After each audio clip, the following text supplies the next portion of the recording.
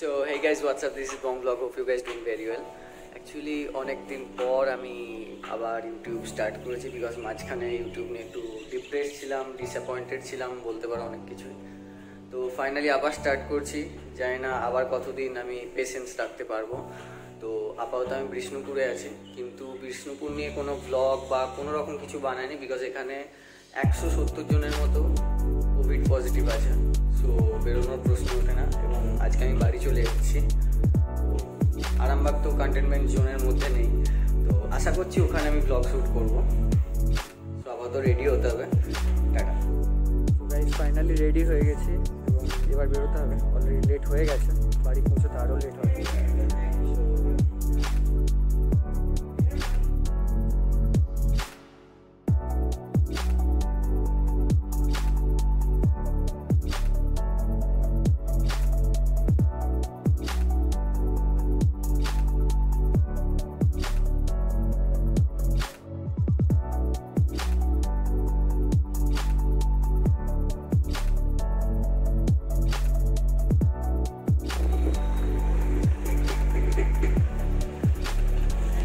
যারা বিষ্ণুপুর এসেছ, তারা জয়পুর জঙ্গলের এই বিখ্যাত হোটেলটা চিনবে না, এমন হতেই পারে না। বনলতা, মদের দোকানও আছে। তো এটা হচ্ছে বিখ্যাত সেই বনলতার চা, ঠিক আছে? আর তার জন্য আউট ফোকাস হয়ে গেল। ফার্স্টে এখানে টিকিট কাটতে হয়। যদি এখানে এখন টিকিট কাটার কোনো ব্যবস্থা নেই ডাইরেক্ট এখানেই পাওয়া যাচ্ছে। বিকাল টাইমে এলে এই জায়গাটায় ফার্স্টে টিকিট কাটতে হতো। তারপরে তোমরা ওখানে চা পেতে।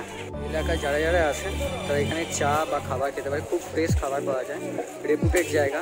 তো তোমরা এসে ডেফিনেটলি টেস্ট করতে পারো, খুব ভালো। আপাতত চা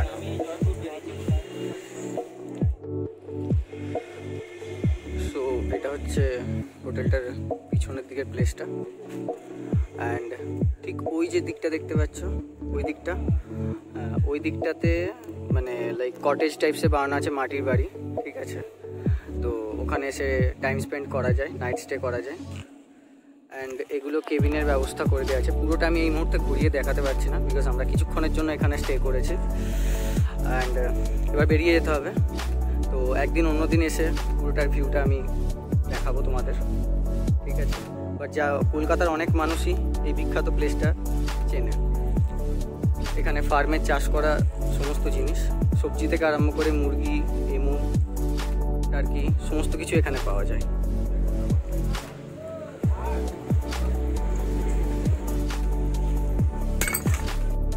সো ফাইনালি একটা মিরার পেলাম। এখানে বেশ ভালো ভিউ আসছে।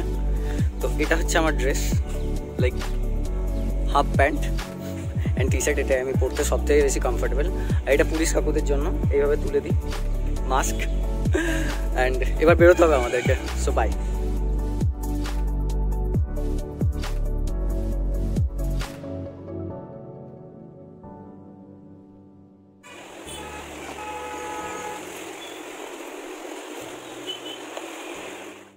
সো প্রায় একুশ দিন পর রুমে এলাম। ঠিক আছে, এই যে রুমটা দেখছেন, ভালো আছে, ওই জায়গাটা একটু ঘেটে আছে বিকজ একটু আগে আমি ওই জায়গাটায় ছিলাম। এখন পর্যন্ত রুমটা ঠিকঠাক। কতক্ষণ এইরকম সুন্দর থাকবে আমি বলতে পারছি না। সো গাইজ ফাইনালি একটু আগে আমি আরামবাগ পৌঁছালাম এবং এখানের পরিস্থিতি দেখলাম খুবই নর্মাল সবাই বাইরে। যদিও এটা কন্টেনমেন্ট জোনের মধ্যে মনে হয় পড়ছে না, জানি not sure but red zone তো না। অ্যান্ড বাড়িতে এলাম এতদিন পর মানে বাড়ির শান্ত পরিবেশটা মনে হলো যেন অশান্ত হয়ে উঠল। আর কি? সেরকম বিশেষ কিছু চেঞ্জ নেই। বাট এরপর যে সারাদিন কি করব, সন্ধেবেলা কি করব, এই নিয়ে একটু ভাবি। ওখানে থাকলে বেশ বিষ্ণুপুর শহরটা অনেক বড়, ঘোরার জায়গা ছিল। আরামবাগ তো খুবই ছোট শহর, কোথায় যাব, কি করব বুঝতে পারছি না। অ্যান্ড আজকে যা মেঘের পরিস্থিতি, মনে হচ্ছে না যে কোথাও যেতে পারব। তো আজকে সারাদিন বাড়িতেই থাকতে হবে। আর কি, আজকে মনে হয় আর কিছু আমি শ্যুট করতে পারব না। তো বাড়ির মধ্যেই আছি, দেখি এই ভিডিওটাকে এক্সটেন্ড করা যায় না এখানেই বন্ধ করা যায়। তো আপাতত টাটা। তো গাইজ আমি যখন আরামবাগে থাকি, তখন বিকাল টাইমটা আমি ছাতেই থাকি, কোথাও বেরোয় না। অ্যান্ড এই কোয়ারেন্টাইনে মানে আমার যাবতীয় ওয়ার্কআউট আমি ছাতেই করছি, একটা টায়ার আছে। সেটা লাইক সিঁড়িতে রাখা আছে। অ্যান্ড যেদিন ওয়ার্কআউট করব, সেদিন তোমাদের দেখাবো। ঠিক আছে মানে আজকে তো আমি টায়ার্ড আছি। অ্যান্ড এই ছাদেতে আমাদের বেশ কিছু গাছপালা লাগানো আছে আরও অনেক কিছু টুকটাক জিনিসপত্র আছে। ঠিক আছে ওয়েট আমি দেখাচ্ছি। তো এটা হচ্ছে সেই বিখ্যাত লেবু গাছ, যেটা লাগানোর সময় আমি ভীষণ আপত্তি জানিয়েছিলাম। এই দেখো, লেবু হয়ে আছে। আরও অনেক মানে অ্যাকচুয়ালি লেবুই বেশি হয়ে আছে। ঠিক আছে, পাতাটা একটু ঝরেছে জাস্ট কদিনে। তো যেদিন রেগেছিলাম রেগেছিলাম, কিন্তু এখন আফটার ওয়ার্কআউট এই লেবুর জুস খাই এবং নিজেকে রিফ্রেশ করি। আচ্ছা তারপরে আসছে, এটা একটা স্ট্রেঞ্জ জিনিস। মানে তোমাদের মনে হবে যে এই বিয়ারের বোতলটা এখানে কেন আটকানো? প্রথমত আমি বলে রাখি, আমি এগুলো থেকে দূরে থাকি।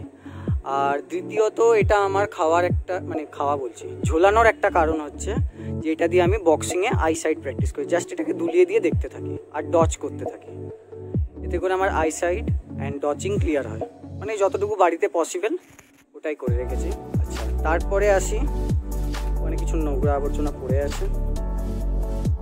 হ্যাঁ এখানে কিছু পুরনো টব রাখা আছে। এখানে টব ছাড়াও আমার বাবা যা পেয়েছে মানে লাইক এই ড্রামটাকে। ওখানে কিছু জার আছে। ওখানে একটা মগ বা ঘটি কি বলব যায় না, লোহার, সেটাকে পর্যন্ত। সমস্ত কিছুকেই বাবা গাছ লাগিয়ে দিয়েছে। গাছ তো ঘাসই লাগিয়ে দিয়েছে। আচ্ছা আরেকটা স্ট্রেন জিনিস জানি না আছে কি না সেটা হচ্ছে এই জায়গাটাতে আমাদের গাছ হয় এবং ফুলও হয়। কদিন আগে একটা সর্ষে গাছ হয়েছিল এই জায়গাটাতে। আচ্ছা মানে ওটা ঝড়েতে মাটিটা পড়েছিল ওখানে। আচ্ছা এখানে আছে কিছু ফুলের গাছ। ফুলের গাছের মধ্যে এটা হচ্ছে, এটা কি ফুলের গাছ আমার জানা নেই। মানে আমি ফুল সম্বন্ধে জানিও না। আচ্ছা তারপরে আসছে এই ফুলটা। হ্যাঁ দেখি তো এটা মনে হয় গাঁদা গাছ। আচ্ছা এটা বেল ফুলের গাছ। খুব সুন্দর স্মেল আসে যখন এখানে ফুল হয়। আচ্ছা তারপরে আবার একটা ছোট্ট লেবু গাছ, কিন্তু এই লেবু গাছের লেবু মানে কখনো খাইনি। যতদূর সম্ভব এটা কমলা লেবুর গাছ। ঠিক আছে, এখানে একটা লেবু ছোট পড়েও আছে। আচ্ছা এটা কাঠবিড়ালিতে খেয়েছে, এখানে কাঠবিড়ালি উৎপাত করে। আচ্ছা এটা একটা ক্যাকটাস জাতীয় ফুলের গাছ, জানি না কি গাছ। গাছ সম্বন্ধে কোনো আইডিয়া নেই, তো এক্সপেকটেশন রাখবেই না। সো যা আছে দ্যাটস ইট এখানেই শেষ সো গাইস আজকের ব্লগটা আমি এখানেই শেষ করছি। এর পরের দিন কিছু স্টোরি নিয়ে আসব বিকজ কিছু স্টোরি আমার লাইফ বেস্ট কিছু স্টোরি আমি কেন ইউটিউব মাঝখানে বন্ধ করে দিয়েছিলাম, এরকম অনেক কিছু গল্প নিয়ে আসছি। নেক্সট ব্লগেতে বা নেক্সট ভিডিও যাই বলো আমি তাতেই সেটা শেয়ার করব তোমাদের সাথে। এবং আজকের ভিডিওটা এখানেই বন্ধ। আর যেটা ম্যান্ডেটারি ওটা বলছি না। তোমাদের ইচ্ছে হলে সাবস্ক্রাইব করবে